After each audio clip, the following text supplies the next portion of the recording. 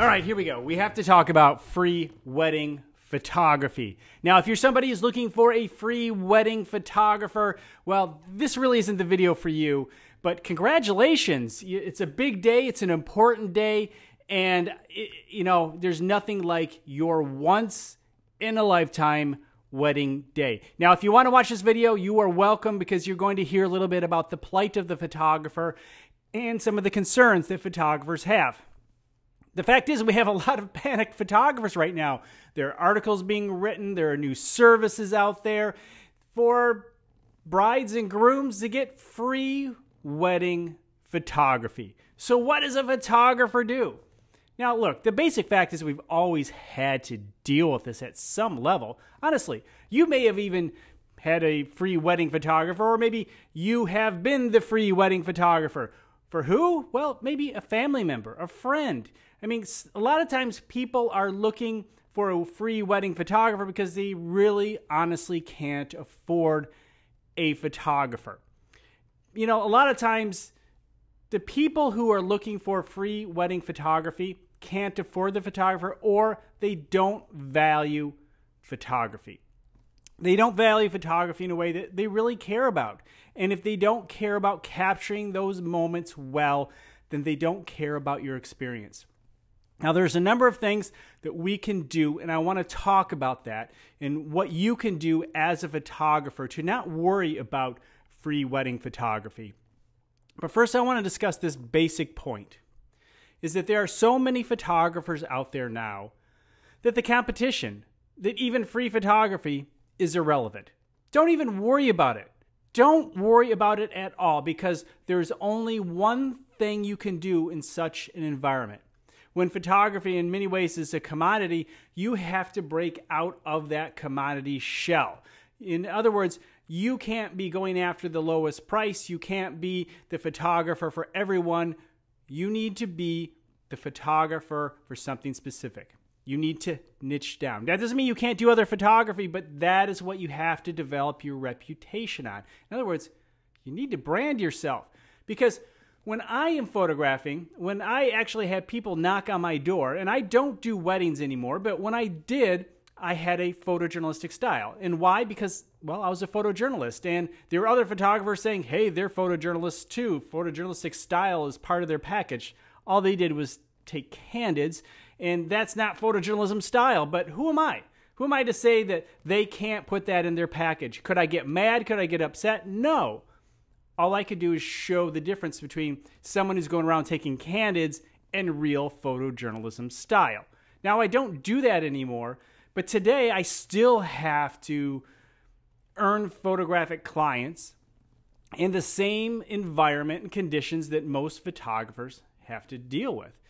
And I don't want to be the person, I don't want to be a photographer for anyone. I don't want somebody who is looking for a photographer. I want somebody who's looking for me. So if people are looking for you because of your style, because of your reputation, your brand, you can then charge thousands of dollars for photography, for weddings. And people will pay it. There are a lot of people willing to pay for the peace of mind that they know that they're going to get the top notch, the best photography they can possibly get in a style that they want. And quite often, that has to do with referrals. And we'll talk about that in a moment because I think that's really important.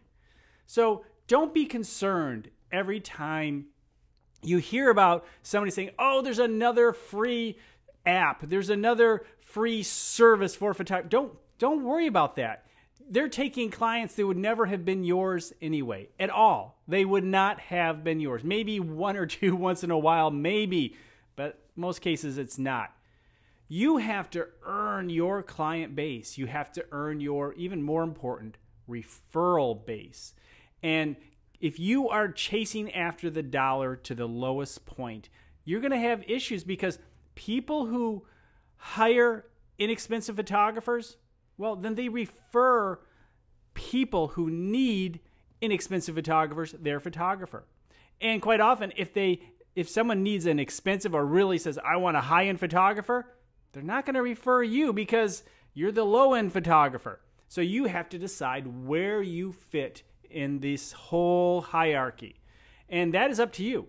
Now, you can charge $500 uh, or be part of the whole free system, but it's going to be hard to stay in business. Because, yes, you have to understand your cost of doing business. I do have a video on this channel about the cost of doing business. Check it out. It really is important because if you want to do what you love to do, you need to charge a price that will keep you in business. There's so many things we can do as photographers to continuously update who we are and continuously stay ahead of the game. And one of the things I highly recommend is to offer additional services. And in many ways, that is what's taking away our opportunities from us. People are doing just this. They're offering other services in, in a package to combine with their main service. So they're making money off of their main service and then they find ways to package photography in with it at a low or inexpensive or free price. But we can play that same game and still be effective. But know that, look, our brand is a photographer, but we can combine different services with our package. Maybe it's video. Maybe there are some design elements. Maybe there's maybe virtual reality. You know, get in, get ahead of the curve as you develop your photography packages and as new technology develops. Be there. Try all the new technology that's out there and add it to your packages. That's what I refer to as the combination code, combining something new to separate yourself from the competition. So if all you're doing is snapping away with your basic DSLR, no great lighting, just natural light photography, you're, really just a commodity. And, and just a basic fact. Sorry to say that. I mean, you're just a commodity unless you're able to build relationships. Maybe it's your personality but you can't go around telling everybody you have this great personality, nor can you go around telling everybody you have the best service, because that's just standard. Now, you can share information and share stories of how you have great service or how you made the bride laugh. That's fine. But ultimately, you're still a commodity until you can really point to the elements that separate you. Now, here is a basic fact, and that is every, and this is great news, quite honestly. The great news is nobody has your eye. And each photographer has their eye, and we can develop our eye and bring something new that way, but it's going to have to show in the images. But nobody has your eye, and you can stand proudly on that alone and charge the rates you deserve on that alone. So think about the different ways you can separate yourself. Think about the different ways you can continuously increase your rates and not worry about the free and the cheap. You're just concerned about finding the right people who don't want a photographer. They want you.